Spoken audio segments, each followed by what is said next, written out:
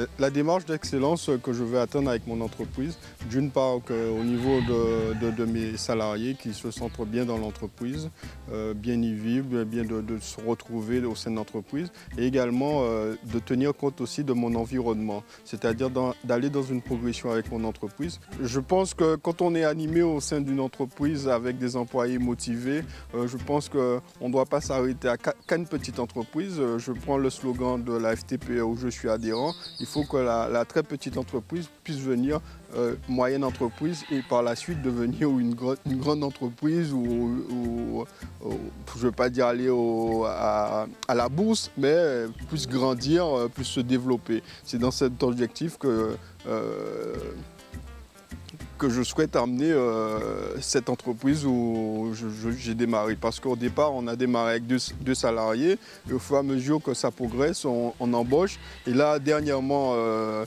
un, des, employés me dit euh, Patron, il faudrait qu'on puisse prendre le local d'à côté parce qu'on commence à être trop petit. Et ça me fait plaisir que l'employé voit l'évolution de l'entreprise et, m'incite à, aller dans, cette démarche de, progression de l'entreprise. Thank you.